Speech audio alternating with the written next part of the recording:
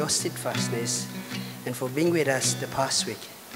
Thank you for your goodness and blessings that you have bestowed upon us that we may intercede and seek your grace. Lord, we ask for your forgiveness for the wrongs we have done against you and the fellow believers. We as a church come before your throne of grace, seeking your mercy as we apologize. Father God, we praise you for the blessed funeral, the first of June of late Linen as he went to be with you in heaven, for sending your comforter especially to the Led Lenin's family. May their family continue to find favor in your sight, and may you be the center of their family. Father, we humans make plans, but success is only through you. We submit the installation program of senior pastor the next Sunday. We seek your mercy for the NMM staff as they will be traveling from Dimapur this week for the installation program. May your blessings be upon the program. Father, we submit the upcoming program of Working Youth and Youth Fellowship NCF, the 10th of June. We pray for your leading and guidance. Father, we pray for your intervention in the state of Manipur as the two communities continue to wage war against one another. We pray for your divine healing and forgiveness as Manipur seeks peace and normalcy in the state. Let your will be done in Manipur in your due time. Give strength to all the tribals, the spirit of perseverance as they continue to face the hatred from the Meiteis. You have promised that no weapon formed again shall prevail over your people. Make haste to intervene and bring healing to Manipur. Merciful Lord, we offer a prayer for your grace and healing to be with all those who have suffered loss and injuries from the train accident in Odisha. May you bring healing to the lost as hundreds were killed in the accidents. Lord, we know that you are with us. We ask for your anointing upon your servant, our associate pastor Dindu, who will be bringing your word to us today. Let the word spoken by him speak to us, renew our hearts, reveal to us more of who you are as we listen to your word. Father, only you know what lies ahead, and we pray that your will be done. Keep love before our minds and the guiding lights before our lives, committing the rest of the programs into your mighty hands. In Jesus' most precious name we pray. Amen. Church, please be seated. You may also stay connected with us uh, through our social media platforms Facebook, Instagram, and YouTube. Uh, moving on, now I would like to call the ushers to come forward for the offering. And also, I would now like give time to Ms. Sochan for the offertory prayer and Mr. Soles for offertory hymn. Please take your time respectively. Gracious Lord, you have blessed us with such love and goodness. Lord, we thank you for the sustenance of food and water, and we cherish the love of family and friends. Lord, we offer these gifts with thankful heart and in joyous praise. Lord, we surrender our whole beings to you with worship and in gladness.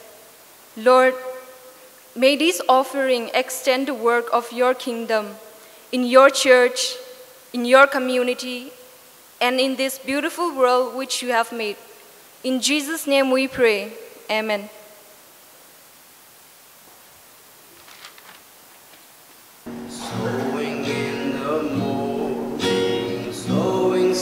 Lebenslauf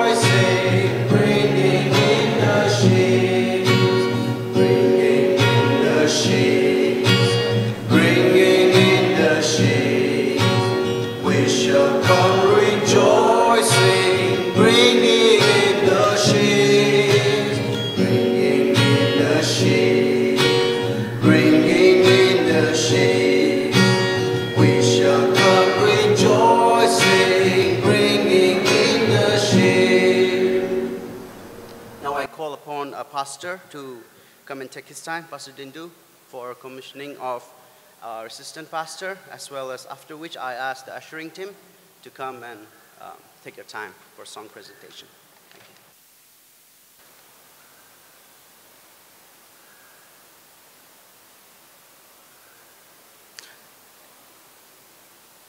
Church, we are gathered today to receive a gift from God once again. Last Sunday, we receive a gift from God from above in the form of our new Sunday school coordinator. We praise God for his unending supply to our needs. And today, we are here uh, to give thanks, to give thanks to God for giving another blessing in the form of our assistant pastor. We are going to commission our intern pastor Lungria Ding Dang to the office of assistant pastor in our church. So I would like to request our intern pastor, Mr. Lungria, to come forward.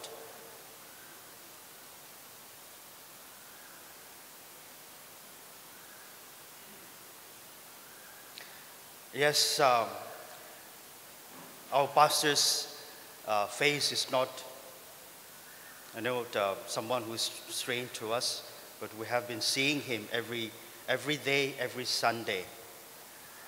We are thankful to his service, to his commitment, to the way that you have served the Lord and the church and NCF Pune. And we would like to sow our token of love and appreciation to him by giving him a bouquet of flower. I request Itel, our outreach co-leader, to come and hand over to him.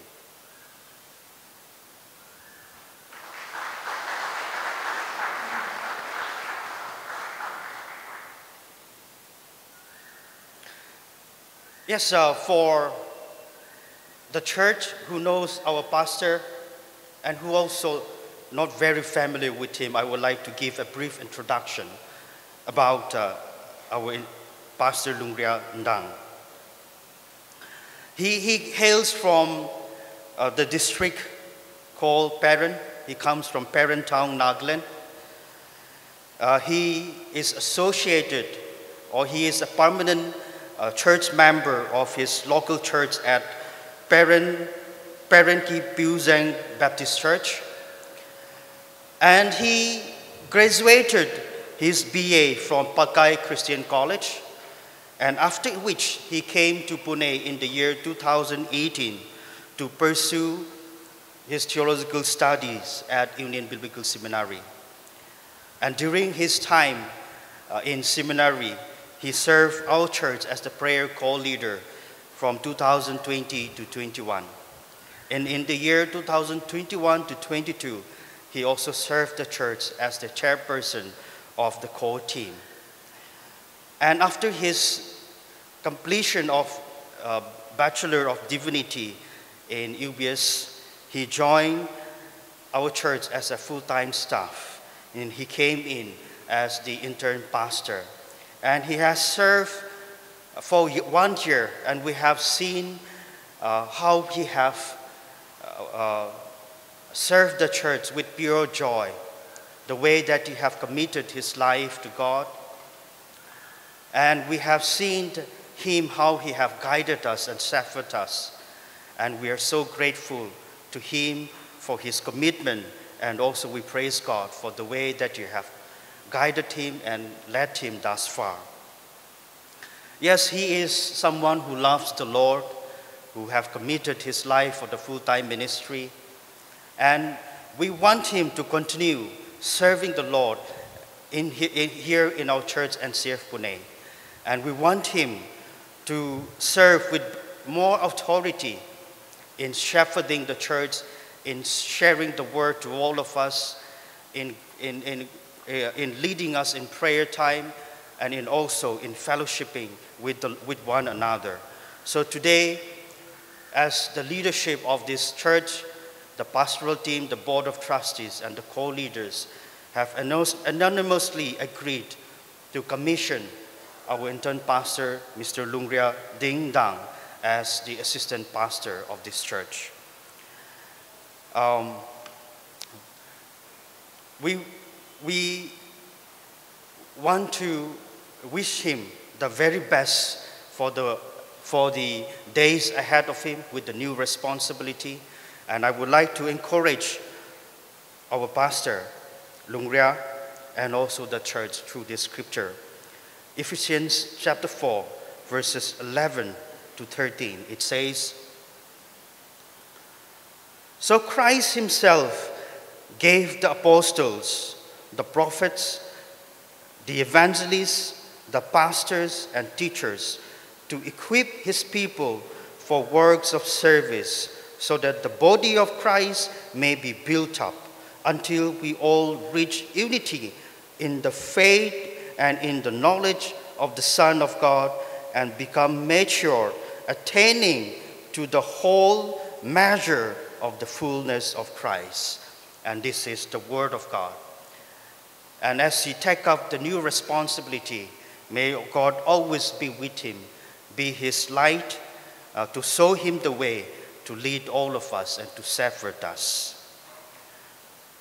And also to the church, I would like to remind all of us to continue to support him, encourage him, and also uh, be the members to follow whatever he will be guiding us.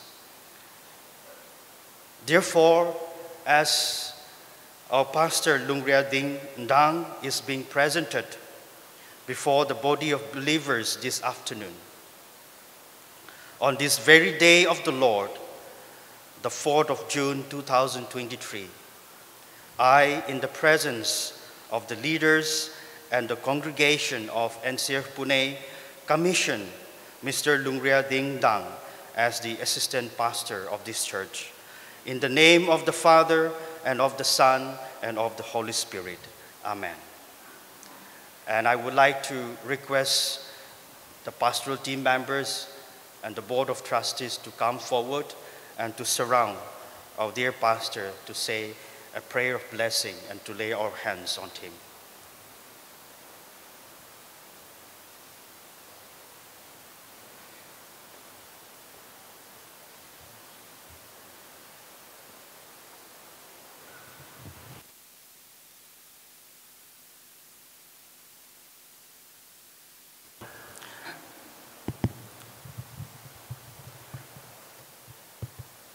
I also would like to request the congregation to join us in, in praying, in saying the prayer of blessing to our dear pastor. Kindly raise your hands for him and say the prayer. So shall we all pray? Our most gracious Heavenly Father, we thank you for the gifts that you have showered upon us. Lord, all the good gifts, all the good things that we receive comes from you. And Lord, today we receive this blessing for Naga Christian Fellowship Pune in the form of our assistant pastor, Lungria Ding Dang. Lord, you have called him to be a minister, to be a servant in your ministry, in your vineyard. Lord, you have responded to that calling and your calling is the highest calling.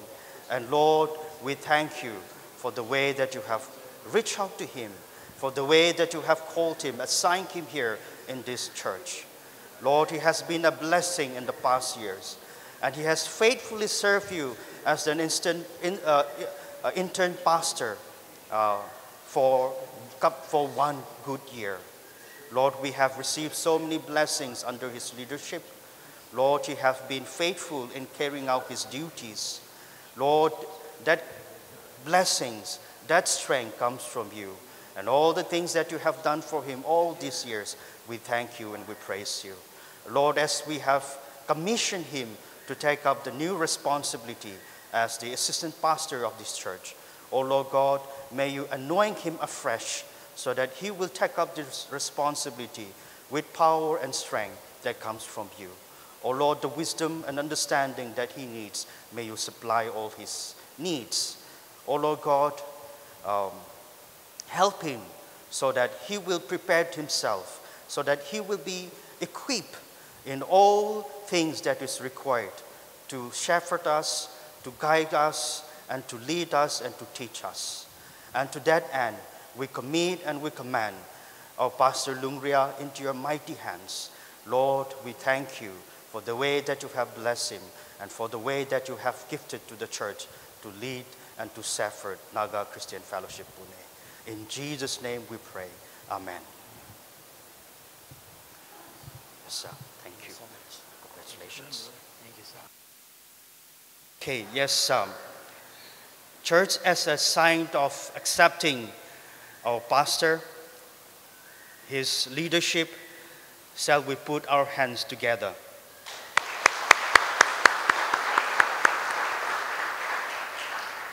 Thank you. I would like to request the uh, ushering team to come and uh, present us the song.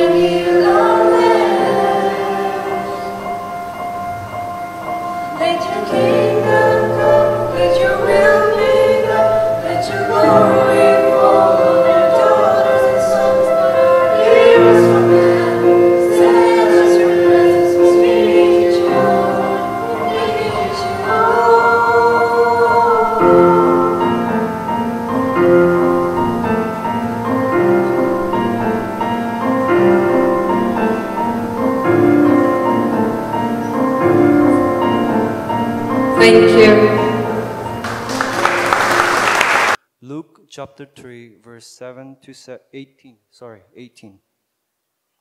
Then he said to the multitudes that came out to be baptized by him, Brood of vipers, who warned you to flee from the wrath to come?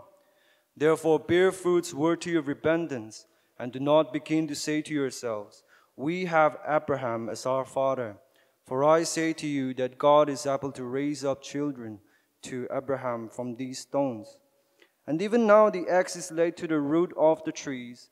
Therefore, every tree which does not bear, good fruit is cut down and thrown into the fire.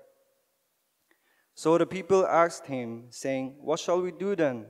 He answered and said to them, He who has two tunics, let him give to him who has none, and he who has food, let him do likewise. Then tax collectors also came to be baptized, and said to him, Teacher, what shall we do? And he said to them, Collect no more than what is appointed for you. Likewise, the soldiers asked him, saying, What and what shall we do? So he said to them, Do not intimidate anyone or accuse falsely, and be content with your wages.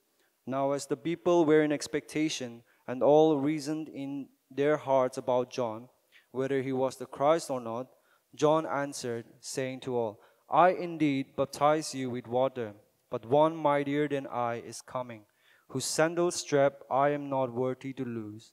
He will baptize you with the Holy Spirit and fire. His winnowing fan is in his hand, and he will thoroughly clean out his threshing floor and gather the wheat into his barn, but the chaff he will burn with unquenchable fire. And with many other exhortations he preached to the people. This is the word of God.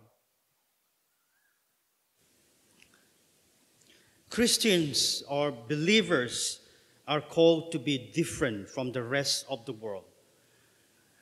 You know, we are called to be different, you know, in, in, in our religious, in religious life as well, or in the irreligious life also. We are called to be different. But unfortunately, sometimes we Christians doesn't appear to be different than anyone else. We hear the word of God, we come together, we have Bible study time, we pray, and sometimes we fail to the calling to be different from the rest of the world. Once a church leader was driving on the road and he come across in a point where there's a traffic jam. So it's a point where there was a standstill. He cannot move, he cannot go back, but the one who is behind him keep honking. And uh, he was annoyed. He couldn't take it anymore, so he came out from his car and he walked behind, walked behind, and he went up to that driver. He opened the door and he punched him on the face. And then while re- returning back to his car, he happened to see the bumper of his car in the sticker with this written, honk if you love Jesus. No, many a times, no, we, many a times we hear the word of God. Many a times we have heard about repentance. Many a times we're being called, being taught to love one another, but we fail that. So here, John, John the baptizer, is preaching of repentance in a direct response to human uh, behavior, to a human behavior that ignores the appropriate attitude of any believers. John the Baptizer, he's preaching here, no, directly dealing with the human behaviors that ignores the, the appropriate, inappropriate attitude of any believers towards or his hard neighbors, fail to love, fail to have compassion, fail to have respect for one another, fail to be generous, and not only that, leaving behind the teachings of hospitality, kindness, and forgiveness. In the midst of that, John the Baptizer is preaching. So when he begins the preaching from verse 7, unlike any other preachers who talks, who brings out with illustration, who starts with a, you know, a joke, a simple jokes, but he directly went into it. John the Baptizer, he started his preaching, calling the people, you brood of vipers, or calling them as a, a bunch of uh, snakes. You know, if starting a preaching or sermon in that way, you know, it will give an alarming to the congregation. But John the Baptizer, with the authority he started, let me read it out for all of us. From verse 7, let me read out this verse 7. John said to the crowds coming out to be baptized by him, You brood of vipers, who warned, who warned you to flee from the coming wrath? No, he started with this phrase, You brood of vipers, or you bunch of snakes. No, it could be something that hurts the sentiments of his listeners at that time. It could bring back to the time of Genesis. No, the snake is the one that comes and then lure Adam and Eve to fall into sins. And also he says this, he asks this question, who asked you, who warned you to flee from the coming wrath? Similar like when God asks Adam and Eve, who asked you or who asked you to, uh, who, who warned you that you are naked? No, God asks Adam and Eve, who warned you that you are naked? So it brings back you know, to that time in the Genesis. It could be alarming. It could be a shock to the people uh, or to the listeners of John the Baptizer at that time. So from verses 7 to 9, I would like to bring it out as, as uh, John's the Baptizer's warning, as a warning to the people. How did he warn? He warned by calling the people, You brood of vipers, and who warned you to flee? No, the people, it says they ran to him, they come to him to be baptized. They come to him to be baptized. Not that they really repented, but they want to flee from the coming of God's wrath. No, by just simply submitting to the rituals, to the religious rituals, but by not repenting, by not sowing any, any, any uh, form of manifestation of repentance. They just want to be submitted in the, in the religious rituals rather than sowing any manifestation of repentance. So that's why John the Baptizer asked them who came forward for baptizing, Who warned you to flee from the wrath? So, church, I would like to bring this out to all of us. Many a times we thought that repentance is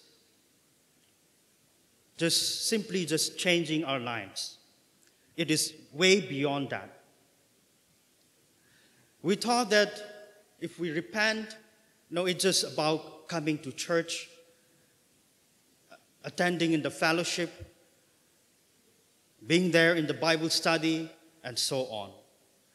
But it is way beyond that. John the Baptizer, when he called out for repentance, he called out for the change of their lifestyle, to repent, to turn from their ways, at the same time, to come and to turn to God. Repentance without God will be meaningless. We might repent, but for a brief moment, we might change our life, but we will come back to the original place where we have been living. But when we repent, we change our life and we turn to God, that will be completed. Many a times we feel that, we felt that because of the works of our parents, we might be blessed or we might be accepted in the kingdom of God. Because of my parents and such and such is in, as a pastor or a minister in the church, no, I, I, one way or the other, I will be saved. God will show us, show me favor. No, it is not about that. Even today's worship, no, our worship leaders say, in raising our voice, uh, saying hallelujah, I cannot make you to do that. It is you alone who have to come forward.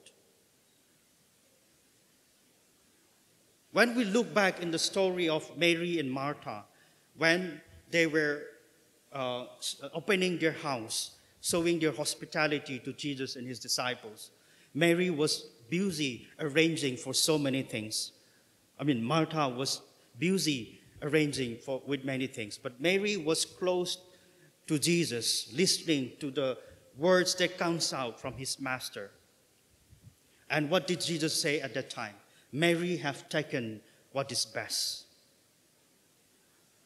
So the best thing that has been taken by our parents or by strong believers, no, it will not save us. It will not give us salvation. The salvation of our parents, no, it will be for them. It will not save you. The salvation of the church leaders, committed believers, it is only for themselves. It is not for their family members. It is not for their friends. It is not even for those who are very close to Him. But the faith that you have, the belief that you have in God, it is only for you. And that will save you. And that will give you the salvation and eternal life. So when we read further in these uh, verses uh, 7 to 9, they were counting their genealogies that I came from, uh, from the, four, the forefathers, Abraham, Isaac, Jacob, I came from such and such line. And they were counting as such that they are blessed, that they will be accepted in the kingdom of God. But John the Baptizer, he revealed at that time that counting the genealogies, that such and such person, my bloodline is from such and such, will not save you at all, will not give you the salvation to enter the kingdom of God. Only true repentance, only genuine repentance will be able to save us and enable to come into the kingdom of God. So he also said, the axe is at hand. That's what says in verse um, in verse 9. The axe is already at the root of the trees, and every tree that does not produce good fruit will be cut down and thrown into fire. And that's what John the Baptizer you know, talk about. No, it, it, in, in other words, it means judgment is at hand. Judgment will come to all of us. There is judgment. No one will escape that. That's what he's saying. Or, or the other, he's saying that when Christ comes, no, he's going to cut out the roots of how the Jews people how the people of Israel at the time were counting the genealogies, that they will cut out their Jewish heritage. And that one will not be able to save them when the time comes, when the judgment comes. So the, the same things applies to all of us.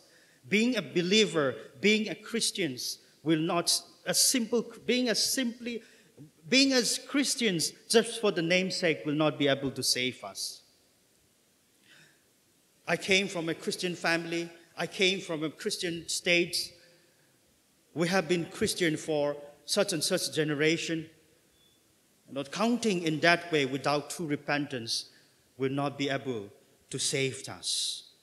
And from verses 3, uh, chapter 3, verses 10 to 40, 14, uh, John's the baptizer, he gave his uh, instruction how to go about with it.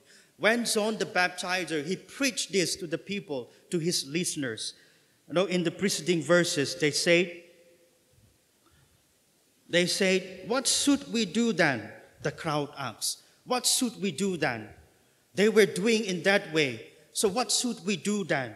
The crowd, the entire, the entire listeners, they came forward and asked, What should we do then? So, so John the Baptizer, he he brings it out, you know, some few things which is mentioned here, how, how to go about with their life. That is to produce fruit in keeping with repentance. That is to produce fruit with, uh, in keeping with repentance. Or bear word, bear, bears fruit worthy of repentance. So, like I mentioned, just simply repentance is not enough. But we need to have a close communion with God. Only then we will be, our repentance will be completed.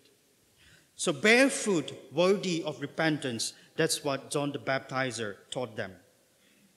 John gave instructions about, about how they should live, about how they should live. And when we summarize this, you know, a tax collector come, when what should I do? A soldier came, what should I do? The crowd asked, what should we do? And he gave that instructions. And we can summarize this, that John was calling the people to true righteousness, to true righteousness.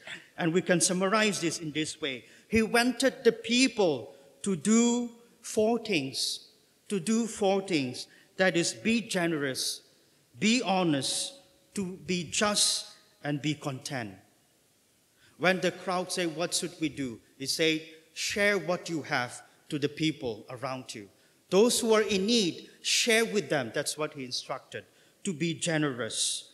And when the tax collector came and say, what should we do? He instru- instructed them, be honest. Collect whatever the government has instructed you to do. Don't go beyond with that. Work with honesty. And when the soldier came, and what should we do? He said, Be just, not to oppress the people, not to the, oppress the people, but to, but to, uh, but, and also to be content. He says in this verse, um,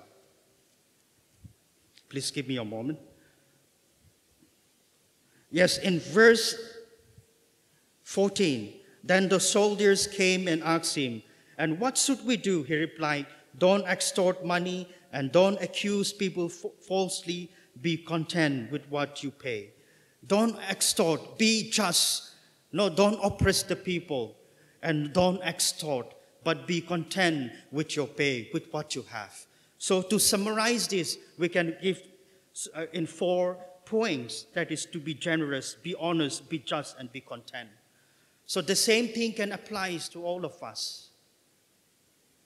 We work in different sectors. Some of us work in the private sectors, some of us work in the government sectors, some could be, uh, some could be in the armed forces, some could be, uh, you know, a, a teacher, some could be a student, wherever the profession is. No, the instruction came to us very clearly to be honest, to be generous, to be just, and to be content. No, in this society, we are we see so many things around us. Corruptions, you name it, so many things. In time of we, we see poverty around us. We see dishonesty, injustice. Terrorism is rising and moral laxity. No, it's, this destroys our families, our nations, our states. It is so much. That is so much this happening. No, I came from, a, from the state of Manipur. You know, getting a job there, you know, we have to pay a bribe, not a small amount, but a huge amount to get a job. So I used to tell my family members, what's the point of spending you know, a huge amount of money just to get a, a small position? How about you know, you follow the teachings of the Bible? How about the money that you're going to bribe someone? Use that, you know, and live, live with that. Make a life of, with that amount. No, there are so many things that is so rampant. And then, what about the situation of Manipur that's taking place? Terrorizing each others, killing each other. There we see dishonesty, we see injustice, we see the people suffering there because of what has been rampant in our society these days. So, only when we hear the Word of God and only when we apply that in our life, only then, only when we put out into actions, we will only be able to see a better society, a better community, a better place for all of us. And also, here, John the Baptizer talks about generosity. How about us? Are we sharing the little source, resources that we have to those who are in need?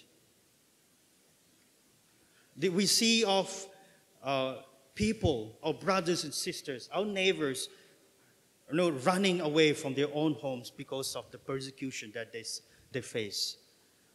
Are we sharing with them? Are we helping them out?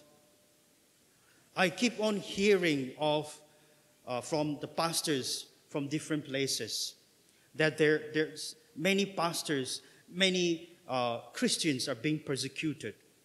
They were not given the freedom to profess their faith. They cannot live there anymore, they have to run for their life. And they're sheltering somewhere else. And for us, we are comfortable. We don't face any such till now. And we are not able to understand how much those people who face persecution, how much they are suffering. But today's scripture taught us to be generous, to be kind, and to love our neighbors. And how about the churches that has been burned down in Manipur? They will take some time to rebuild that churches that has been burned down. How do we have, are we thinking, or are we praying, are we have the concern to, help them out, to rebuild the churches that has been burned down to ashes? And not only in Manipur, but in different parts of this country, in, in our country. How about, are we doing something to help, to help out and to reach them out? And church, I would like to remind us this very afternoon, not only with genuine repentance and coming to God, will be enabled to help us to live a life that is worthy before the sight of God. And talking about the repentance, let me now quickly bring out something from my life. At one point of time when I completed my high school, I said, I when I go out for my father's studies, no, there will, I know that there will be so many things around me that will distract me. I will not go into that. I make that stand, that stand, the firm commitment. I went that. I went there you know, to the place where I have to study, out of from my home, out of from my state. But God is not there with me. I was not with God. I hardly attend the church. I hardly read the Bible. I hardly have a uh, prayer, prayer life. I was trying my best you know, to focus on my studies, and one way or the other, I was distracted. My life was completely and totally in different direction. But when I realized that this thing will not let me go to further, and there's a point of time that you know there's a lot that is happening in my life, but I repented.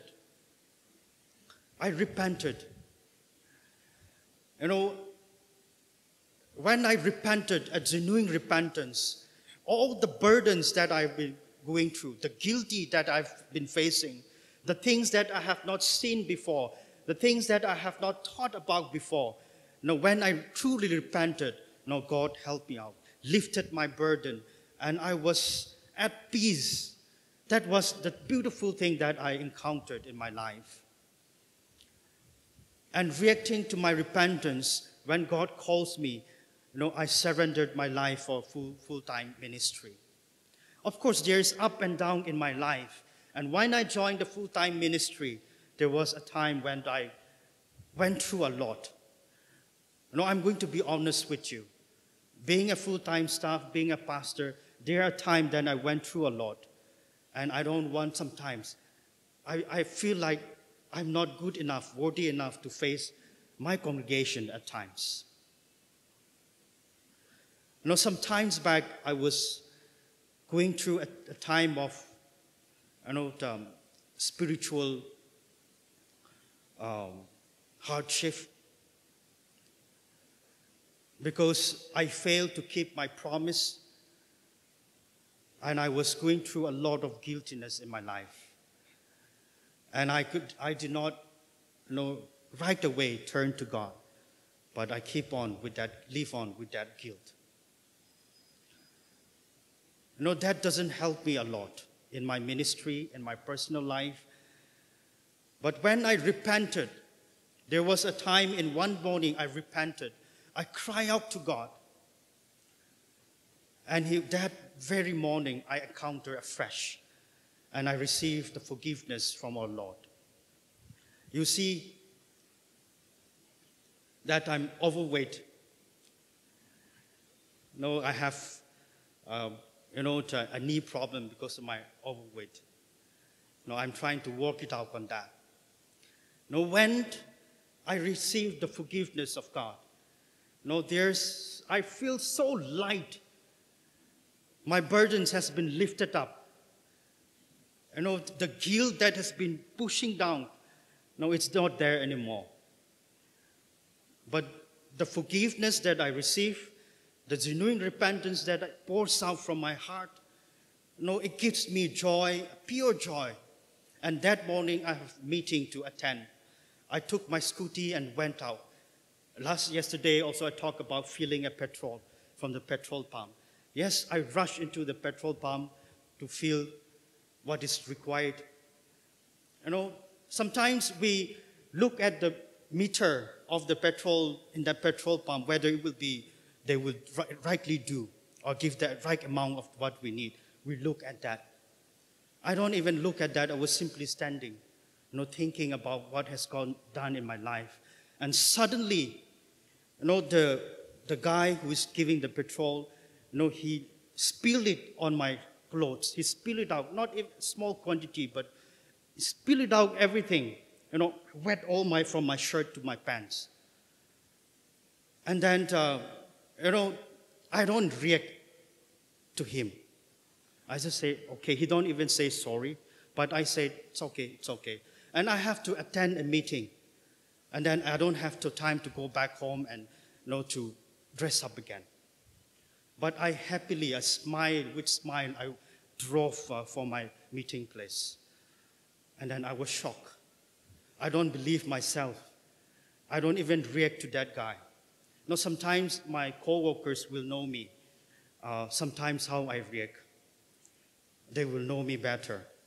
Note, I don't even react because the forgiveness that I receive from God is, is it's much beyond uh, what I deserve. And the small thing that has been, you know, spilled on, not soon be the way that I should react against that person. But I have received the forgiveness, and then, you know, I ought to forgive that person. So, church, yes, you know, things could come and knock at us. Everywhere, anywhere. We are called to be different from the rest of the world. And let us keep that in mind in our workplaces, in our family, uh, in the streets, or even buying things in the market, everywhere. Let us make the difference and make our place a better world. And the preceding verse, uh, John the Baptizer, he makes some clarifications when the people ask, Are you the uh, Messiah. The messianic fever is at peak at that time. They're waiting for the Messiah to come. They are counting, they are calculating, they are reading the Bible, they're looking for the signs. The fever of Messiah is at peak at that time. So they asked, Are you the Messiah? John gave some clarifications. But I would like to bring it out to all of us here today. I would like this ask to all of us. I asked myself this morning, even myself, the people at that time, they have this messianic uh, fever. But what about us? Are we also anticipating for the second coming of our Lord Jesus Christ? Are we okay with our life like this? Are we like, don't come yet? No, I want to live a life. Or do we have that fever like those time, the John the baptizer's time? I don't know about you, but sometimes I forget about that. But this very morning, it, it makes me to ponder upon again, you know, how we should live and how should also anticipate for the second coming of our Lord Jesus Christ. We have to prepare everything, every day of our life that has been reminded. And here, when John the baptizer gave that clarification, he gave that to all of us. Know, the judgment is not to uh, scare us or to uh, uh, intimidate us or to make inflict fear in us. But the judgment, the message of judgment that that John the Baptizer preached, is rather about an encouragement for us to be prepared for the judgment that is to come. That is at hand. It will happen. It will come. So we need to prepare with that. But for us, the best thing that has done for us is the cross of Jesus Christ. He took all, all our iniquities, all our sins, and on that cross, He laid down His life. He shed His blood for all of us. And today, church, I would like to invite us to the Lord's table that has been prepared. Our Lord Jesus Christ has prepared everything for us. Let us become, come before the table of the Lord with a genuine repentance. Pray for yourself. Pour it out to Him if there's anything that is hindering between Him and you. Pour it out. Take a moment of prayer as the uh, ushers, as our friends come and prepare for the table. Take a moment, take a time of prayer, pondering upon what John the Baptizer has spoken uh, to us. I would like to request the ushers uh, to come forward.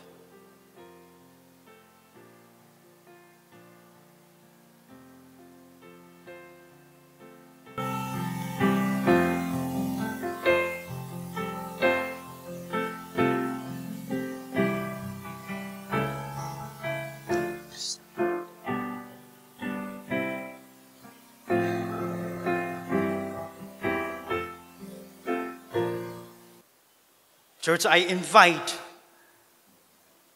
all of us who are baptized and who have a personal relationship with our Lord and Savior Jesus Christ to come and partake at his table.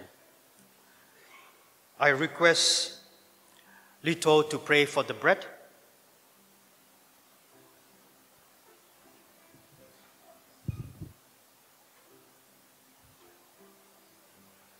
Let me pray. Our Father God in heaven, through your sacrifice of your Son, and through his endurance in pain and in suffering, that has been overcome.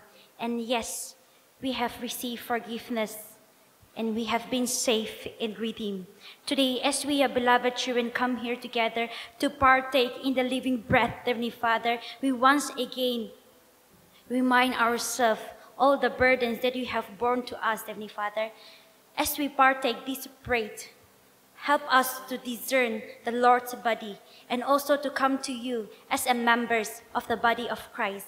Most gracious Heavenly Father, we also thank you that through your broken body and through the stripes that we have paid for us, you have given us new life, you have made us whole completely, and that we claim healing in your name. At this time, I surrender the bread and our entire life unto your mighty loving hand, believing that you will sanctify it and let your love and grace be upon it. In Jesus' name we pray. Amen. Amen. I would also like to request Nipeto to pray for the cup. Shall we pray? Lord Jesus, we thank you for the life that you gave us on the Calvary cross. Lord Jesus, we thank you for the blood that has been shed for us for our sins, Lord. Lord, this morning we remember you. We remember and acknowledge the price that you have paid for all of us, Lord. Lord Jesus, as you have taught us, we come together to partake together this cup in your remembrance. Lord, may you remind us again that your love is greater than our sins. Lord, as we partake this cup in your name, Lord, prepare our hearts so that we will receive by faith. And as we receive by faith, Lord, we will be blessed again. And again, we will be reminded that, Lord, we have a greater purpose in life for which you have paid for each and every one of us. Father, you cleanse us again by your Holy Spirit and by your blood. Lord, we surrender the cup and surrender all of our lives into your mighty care. And may we always remember the price that you have paid for us. We ask this in the mighty name of Jesus Christ. Amen. Church, shall we prayerfully partake together the bread?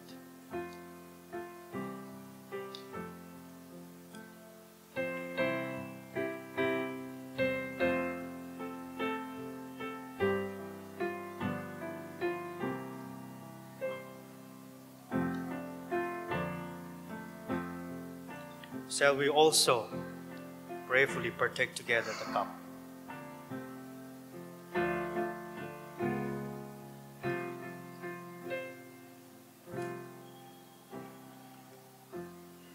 Shall we pray?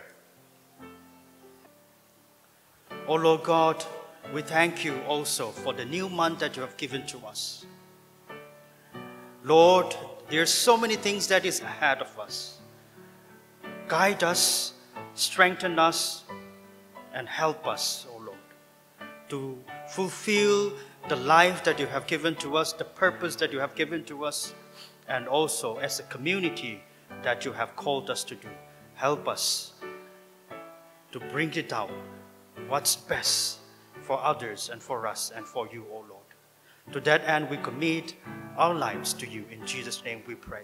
Amen. So we also receive the benediction. May the grace of our Lord Jesus Christ, the love of God, and the sweet communion of the Holy Spirit raise and abide with all, especially with our assistant pastor, Mr. Lungria, now and forevermore. Amen. The Lord